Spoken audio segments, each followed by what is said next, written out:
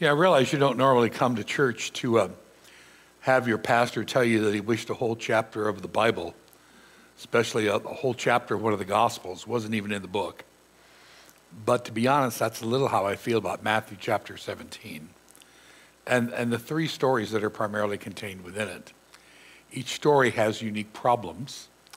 But you know, I actually feel that these are the kind of stories that I need to preach on rather than ignore and, and help us walk through more so than ones which are more straightforward. So I want to do something a little unusual today uh, as we look at these three events in Jesus' life uh, and ministry. We're going to do them in reversed order, looking at the hardest first, working our way backwards towards an event that we call the Transfiguration. The last story in the chapter involves a fish and a coin. Now, let me, before we start, let me say that while we recognize four Gospels that accurately record the life and the ministry of Jesus. There are over 100 documents in the writings of the early Christian church that are called Gospels and contain stories about Jesus. Many of these books contain stories of strange miracles that Jesus performed. Miracles unlike the ones that we normally read about in the four Gospels in our New Testament. For example, in one of these books, Joseph is working in his shop. He cuts a piece of wood too short Jesus comes in and stretches the board to the correct size. In another one, the boy Jesus takes a rock in his hands, tosses it up in the air, and it becomes a bird. The temptations of, in the temptations of Jesus, we see him reject the use of his power to do miracles that would simply uh, meet his need, need, his own needs, or, or do sensational acts to draw attention to himself or to amuse himself most of the supernatural events in Jesus' life follow those limitations. And that's one of the ways the early church differentiated between the apostolic gospels and the other one was to toss out the ones that were filled with strange supernatural events. That's why there are 100 gospels, but only four that we think accurately record Jesus' life. But this story in Matthew is so strange that many scholars think that it might be one of those legends that accidentally made its way into the normally reliable Matthew. In fact, after explaining it as best he can, even Dr. Dale Bruner says problems remain with this miracle. It is not easy to like. Let me recount it briefly. All Jewish males over the age of 20 uh, are required to pay an annual temple tax of a half shekel. This was used for the upkeep of the temple and somewhat considered an atonement offering for a person's sin. Now, Jews from all over the world collected this tax every year and sent it to Jerusalem. We actually know that because we have records of Roman authorities intercepting these offerings on the way to Jerusalem and keeping them for themselves. A half shekel was roughly equivalent of two drachma, and a drachma was roughly one day's wage. So a collector of this tax comes to Peter and asks if Jesus pays the tax.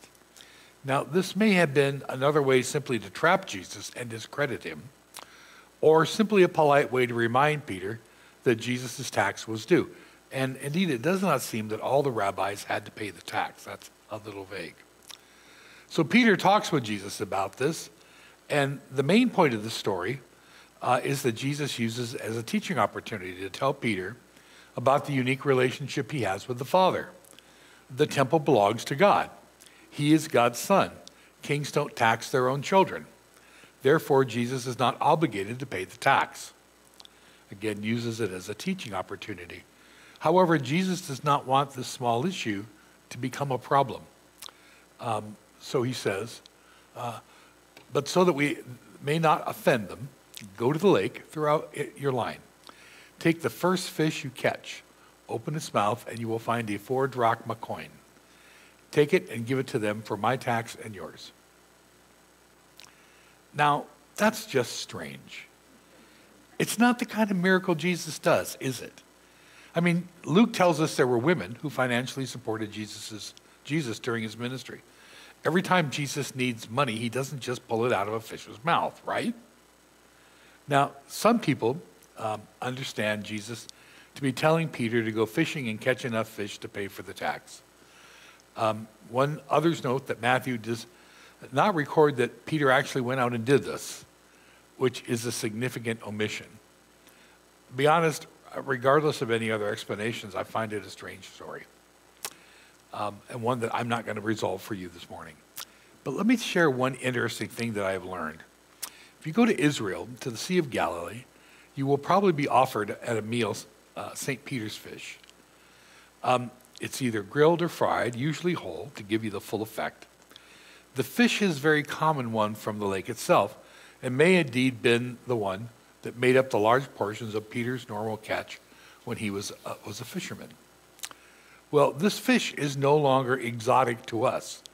We call it tilapia. You can buy it everywhere.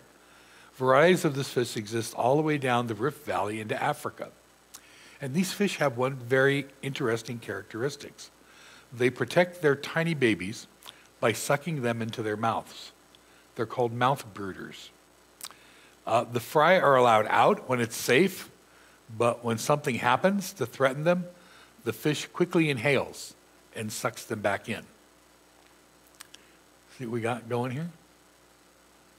Didn't think you were going to see this when you came to church today, huh? Um, a little school of them.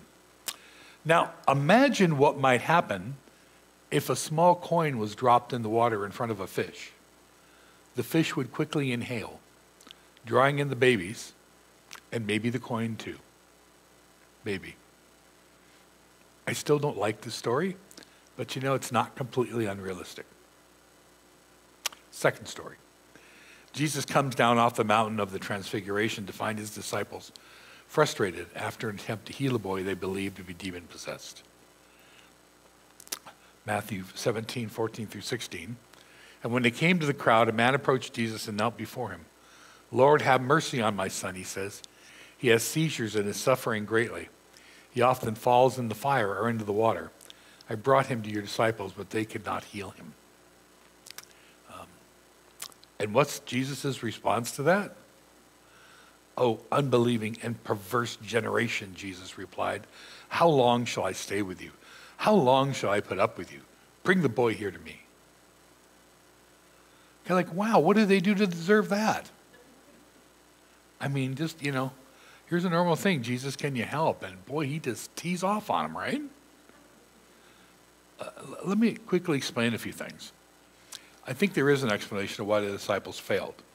You know, if you look at the boy's symptoms, uh, doesn't that look a lot like epilepsy or some other seizure disorder? In fact, the Greek word that's used here for what he has is literally moonstruck, which is often translated epilepsy in modern works because people thought the moon had something to do with these seizures. Now, let me tell you, friends, I do believe in demon possession, and clearly some of the people ministered to were indeed demon possessed.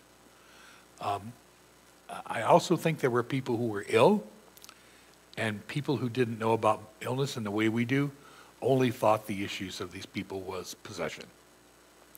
You'll notice if you're looking in your own Bible that verse 21 is actually missing from your Bible. That is because it appeared that around the 5th or 6th century, someone added that verse from Mark's telling of the event. It made its way into the King James Bible but since then, it's not been found in any of the earlier manuscripts of Matthew, and it's been removed. Mark adds a little more of an explanation to what went on. He says, after Jesus had gone indoors, his disciples asked him privately, Why couldn't we drive it out? And he replied, This kind can only come out by prayer. And I think a part of the problem is the disciples were trying to do an exorcism on someone who was actually ill. You know, we may exorcise demons, but we pray for the sick. In Matthew, Jesus then uses this example, uh, this event, as a faith lesson. But, but Mark's information is still important. Still, why does Jesus get so testy right off the bat? And I don't know that I have an easy answer for that. Perhaps he was responding to something specific in the crowd. After this healing is done, he lectures his disciples on the power of faith so perhaps they simply had given up when they first didn't succeed. But I got to tell you, I wonder if this isn't just a little bit of Jesus' humanity breaking through. Uh, a time with blessed communion with God in Old Testament saints on the mountains is immediately followed by chaos and conflict and human misery in the valley. It's like coming back from that vacation to a crisis in the workplace. Perhaps we can allow Jesus a single outburst to express the frustration that certainly must have happened with a perfect God taking human form and, and walking on our earth. You know, we can't say that Jesus was fully human and fully divine if we believe that his divinity completely shuts out his humanity. Apparently, even Jesus could get frustrated. Now, finally, the chapter begins with one of the best known events in Jesus' life the Transfiguration. I would love to show you a video of it, but only two of the more low budget Jesus movies have this event, and none of them do it well. It's terribly hokey. So today, let me encourage you to believe that your imagination is far better. So our main text um, is from uh, the, uh, the Gospel of Matthew, chapter 17, verses 1 through 8. And after six days, Jesus took with him Peter and James and John, his brother, and led up to, up to a high mountain by themselves.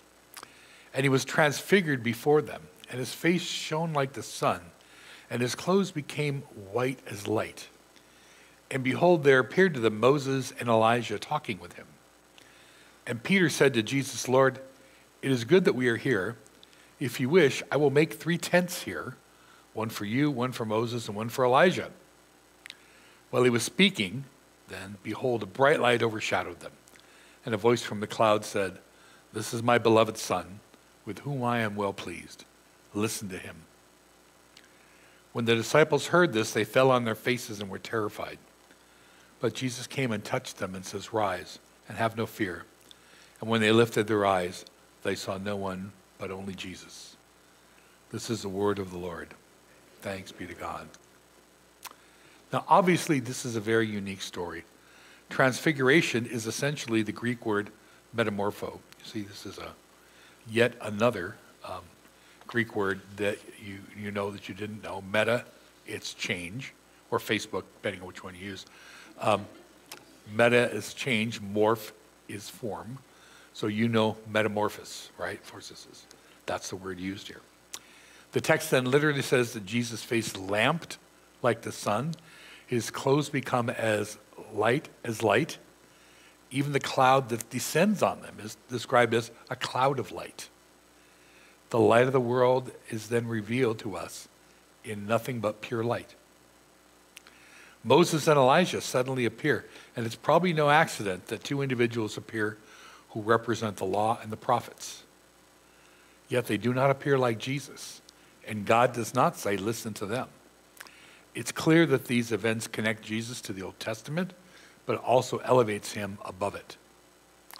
Now, I have to point out to you that this event contains one of the dumbest lines ever uttered in the Bible. Peter watches all this unfold and for some reason feels that he needs to say something because that's what Peter does, right? You know, we're going to we're going to devote our whole fall to the letter of First Peter. You're going to love it. So much to tell us. But but in Matthew 14, 17, we read, uh, Jesus said, Peter said to Jesus, Lord, it's good for us to be here. If you wish, we'll put up three shelters: one for you, one for Moses, one for Elijah. Now, the words he uses probably means the temporary shelters of sticks and branches the Israelites put up in their fields during the harvest time. Um, you'll notice that uh, Jesus, God, Moses, and Elijah seem to pay absolutely no attention to his suggestion. In fact, God apparently cuts him off while he's still speaking. I kind of wonder if God didn't do one of those zip it, you know, things to him, just to like shut him up. Um, but, but, you know, as Mark tells the story, he adds one line. And every now and then in Mark, we have a line that some people call a Peter over the shoulder line, where it looks like Peter is, is reading uh, Mark as he's writing the gospel, and he adds a, a note of correction. So Mark then explains why Peter says something this dumb. Uh, Mark uh, 9 6, there's like a parenthesis and it says, he did not know what to say. They were so frightened. It, it's like Peter admitting, okay, I know that was really stupid. I was scared. um, now, I'm just about out of time, so let me wrap up here. Why does this happen? And, and I think there are two reasons. Honestly, at first, I think it's for Jesus. You know, we don't think of Jesus as needing any help or encouragement. But after all, I mean, he's part of the Trinity, right? But remember, the, the night that he's betrayed in the Garden of Gethsemane, Jesus desperately spends time with God to find the strength to face what's coming at the cross. He is, his, his soul is devastated. You know, here in Jesus' ministry, remember a couple of weeks ago, he is now turned and is heading to Jerusalem for his final conflict and for the cross. And he knew what was coming and how hard it was going to be. And perhaps he needed this encouragement uh, of this brief encounter with his father. And, and these affirmative words again, you know, this is my son whom I love. Against the word agape, right? And with him I'm well pleased. And perhaps this is as much for Jesus' sake as for the disciples. We know Jesus needed regular times of communion with his God. With the coming rejection, torture, and death, perhaps even Jesus needed this kind of direct contact with God the Father to strengthen him for the time to come. Again, remember, he's as much human as he is divine. But certainly this event was also for Jesus' three disciples. Their whole view of Jesus had changed in the past week. They now understood that Jesus was both the promised Messiah and the Son of God. And they were now being challenged to see what that really meant. That Jesus was more than Moses or Elijah. That Jesus was actually following God's plan, and that Jesus' path would take him not to earthly glory, but to a cross and initially a tomb. They needed a bigger picture of who Jesus really was. Not just to understand who he was for them, but also they needed a bigger God to face what they would have to face in the coming years. You know, James was the first apostle to be killed for his faith. Peter would die in Rome, crucified upside down. John would be imprisoned several times. They needed a bigger Jesus for these challenges. And they find that bigger Jesus on this mountain. There's a great scene in C.S. Lewis's Narnia book, Prince Caspian. Unfortunately, the movie version left most of it out and, and lost so much of the genius of, of Lewis's story. It was the worst of the Narnia movies. Let me read you a few lines. It comes when young Lucy finally meets Aslan near the end of the book. Now, remember, Aslan is the Christ character in these stories. Lucy hasn't seen Aslan since her last time in Narnia, but she suddenly sees him in a glade. This is what Lewis writes.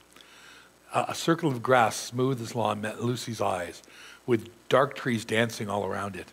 And then, oh joy, there he was, the huge lion, shining white in the moonlight, his huge black shadow underneath him. But for a moment, movement of his tail, he might have been a stone lion, but Lucy never thought of that. She never stopped to think whether he was a friendly lion or not. She rushed to him. She felt her heart would burst if she lost a moment. And the next thing she knew was that she was kissing him and putting her arms around his neck as burying her face in his beautiful, rich soakiness of his mane. Aslan, Aslan, dear Aslan, sobbed Lucy. At last, the great beast rolled over on his side so that Lucy fell half sitting, half lying between his paws. He bent forward and just touched his nose, her nose with his tongue. His warm breath came all around her. She gazed up into his large, wild face. Welcome, child, said Aslan. And Lucy said, You're bigger. That is not because you're older, little one. That is because you are older, little one. He answered, Not because you are, she said. I am not. But every year you grow, you will find me bigger. Isn't that Lewis's genius? Every year you grow, you will find me bigger. And friends, you see, Narnia is not just a story about a magical world and a magical lion.